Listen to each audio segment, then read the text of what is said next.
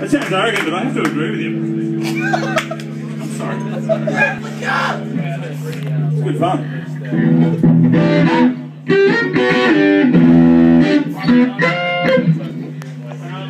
So we got some vinyls for sale, 20 bucks. Um, and also some, vinyl. stick, also some stickers. We've got, two, we've got four stickers. Four stickers. So, better get in. Jesus is burning on them. I thought they were free.